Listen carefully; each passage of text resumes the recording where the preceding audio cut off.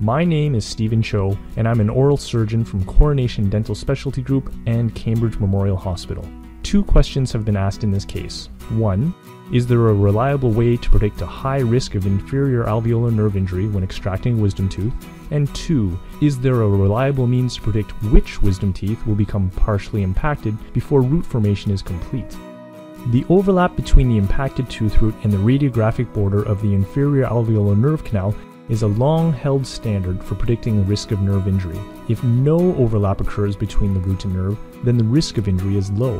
When overlap does occur, there has been a recurrent debate about which findings predict a higher risk of injury.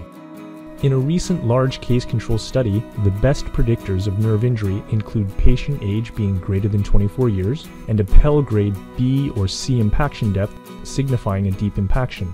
There are also five radiographic superimposition signs of increased risk. The most important is narrowing of the roots of the tooth over the canal.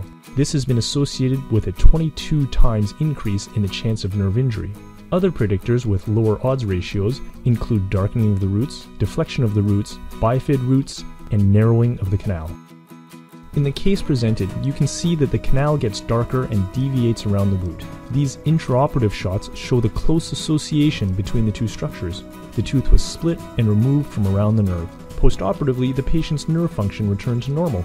Since age and root formation have an association with nerve injury, it's useful to be able to predict which teeth are likely to become impacted. The probability of impaction can be made provided there is at least one third root formation. Traditionally, the angulation of third molars is compared with the adjacent teeth. An angulation difference of more than 35 degrees is considered to be high risk for developing an impaction.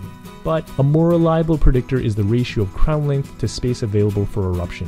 When the ratio is less than 1 to 0.75, the tooth has a high risk of partial impaction. Here are a couple of examples. While the rationale and indications for third molar removal are beyond the scope of this discussion, these cases do illustrate that the predictors of partial impaction could be identified several years before complete root formation. Understanding the risk of damage to the inferior alveolar nerve and the probability of partial impaction are key elements in making educated decisions about whether third molars require removal. My name is Stephen Cho from the Coronation Dental Specialty Group. On behalf of the JCDA Clinical Q&A, thank you to everyone who participates in the discussion.